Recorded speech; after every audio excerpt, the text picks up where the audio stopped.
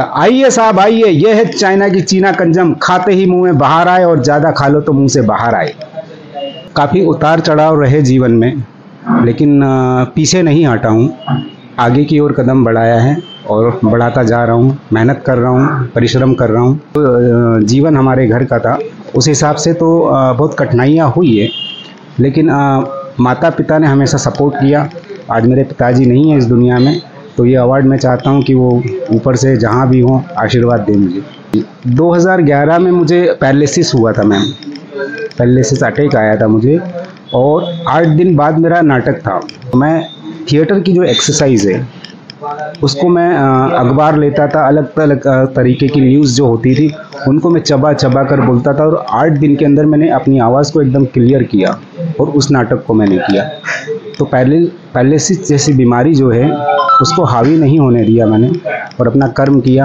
नमस्कार मुकेश जी तो आपको एक इतना बड़ा अवार्ड मिला है। कैसा रहा आपका एक्सपीरियंस और कैसे शुरू किया आपने ये जर्नी हाँ, ये अवार्ड मेरे लिए गर्व की बात है और इतने बड़े नामों के साथ मुझे नॉमिनेट किया गया। ये शायद मेरा जो काम है या मैं करने का प्रयास कर रहा हूँ काम वो सफलता है और मैं चाहता हूँ कि मैं ऐसे ही काम करते रहूँ। काम ही अवार्ड समझता हूँ मैं।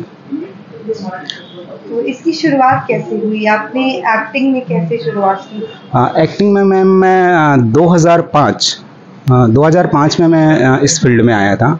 इससे पहले मैं मिर्ची बेचता था ग्रीन चिल्ली और लोग प्यार से मुझे मिर्ची सेठ बोलते हैं और आज भी बोलते हैं और मुझे अपने अतीत को अगर कोई मेरे बताता है तो मुझे बहुत अच्छा लगता है कि मैं वहाँ से यहाँ पर आया हूँ।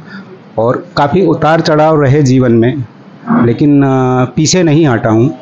आगे की ओर कदम बढ़ाया है और बढ़ाता जा रहा हूँ। मेहनत कर रहा हूँ, परिश्रम कर रहा हूँ और मेरा एक स्टाइल था मिर्ची बेचने का तो मैं बोलता था तो लोग बहुत खुश होते थे। तो 2005 में ही ऐसे साथी कलाकार मिल गए थे मुझे एमपी नगर से लेकर अपना हबीबगंज स्टेशन तक मेरा काम चलता था मिर्ची का। तो वहाँ रंगकर्मी दोस्त लोग मिलते थे तो वो मेरा स्टाइल देख करके बोलते थे कि, अरे वाह यार, क्या स्टाइल है तुम्हारा? तो मैं बोलता था, आइए, ये है चाइना चाइना की चीना कंजम, खाते ही मुँह में बाहर आए और ज़्यादा खा लो तो मुँह से बाहर आए. तो इस तरीके का मैं आवाज़ लगाता तो काफ़ी लोगों को पसंद आता था। तो 2005 से थिएटर में आया हूँ और कंटिन्यू काम कर रहा हूँ और ऊपर वाले से यही दुआ है कि करता रहूँ। तो आपने इसके अलावा कोई मूवी में भी काम किया है थिएटर के अलावा? जी जी।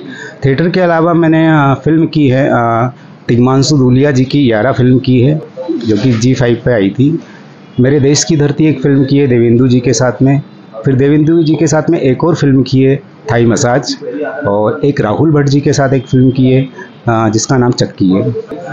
इससे पहले मुझे 2015-16 में बेस्ट सपोर्टिंग एक्टर अवार्ड मिला था, जो कि अनुज गुलाटी यंग डायरेक्टर हैं। उनकी फ़िल्म थी द मैन लिस्ट मैन उसके लिए मिला था और अभी जो ये अवार्ड मिला है ये भी यंग डायरेक्टर हैं, कुणाल श्रीवास्तव, जो कि भोपाल के ही हैं। और बहुत खूबसूरत सोच, बहुत अच्छे विचार और बहुत अच्छे फ़िल्म मेकर जिन्होंने मुझे चुना और इसमें बेस्ट एक्टर अवार्ड मुझे मिला। ये गर्व की बात है।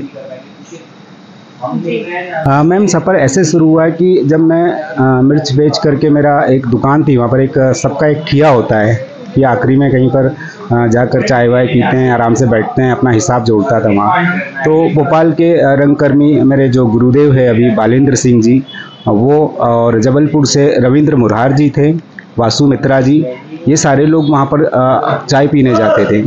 तो मुझे देखते थे, यार ये लड़का डिफरेंट तरीके का बोलता है और ऐसा इसकी चीज़ें बहुत अच्छी लगती है। तो मुझे ऑफ़र दिया कि, क्या तुम नाटक करोगे क्या? तो मैंने कहा, मेरे मुँह से निकल गया एकदम से, बिल्कुल करूँगा। और इन्होंने मुझे अपने नाटक में ले लिया। तो पहला ही नाटक था मेरा, rehearsal the subject is women जिसमें मैंने तीन कैरेक्टर किए थे। और तीनों बड़े बड़े हरामी के टाइप के कैरेक्टर थे। तो मम्मी पापा बोलते थे बेटा ये कर रहा है क्या? तो मैंने कहा "अ, कला है और अ, मेरा मन कर रहा है कि करूँ। तो माँ बाप ने भी कभी मुझे नहीं रोका है। हालाँकि मेरी परिस्थिति या मेरा जो जीवन हमारे घर का था उस हिसाब से तो बहुत कठिनाइयाँ हुई है। लेकिन माता पिता ने हमेशा सपोर्ट किया। आज मेरे पिताजी नहीं हैं इस दुनिया में। तो ये अवार्ड मैं चाहता हूँ कि वो ऊपर से जहाँ भी हो आशीर्वाद दें मुझे। जब आपने शुरुआत की थी तो आपकी उम्र क्या थी? हाँ लगभग मैम मैं बीस साल हो गए। आज मैं चवालीस साल का हूँ। मतलब मैं बहुत ही यंग था। बीस बाईस पच्चीस साल का ही रहा हूँगा। तो इसमें आपने बहुत सारे उतार चढ़ाव देखे होंगे।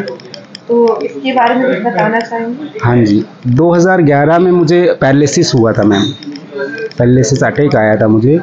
और आठ दिन बाद मेरा नाटक था जो कि सीहोर में होना था।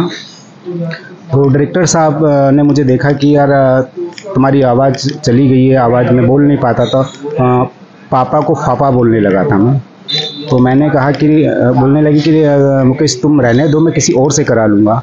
लेकिन अ, मेरे अंदर एक जिद है तो मैंने सर को बोला नहीं सर मैं ही करूँगा इस चीज़ को। तो बोलते कैसे करोगे यार? तुम्हारी आवाज़ क्लियर नहीं आ रही है। तो मैंने कहा मैं प्रयास करता हूँ।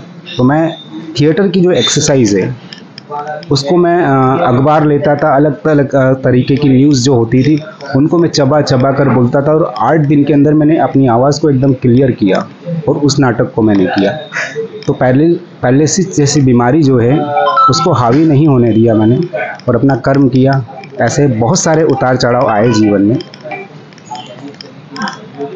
तो जिस चीज़ के लिए आप बहुत फ़ेमस हुए जिस चीज़ से आपको नाटक में एंट्री मिली एक ये अलग अलग आवाज़ में मिर्ची बेचने की जो आपकी कला है क्या आप वो दर्शकों को दिखा सकते हैं कैसे आप ये क्या करते थे?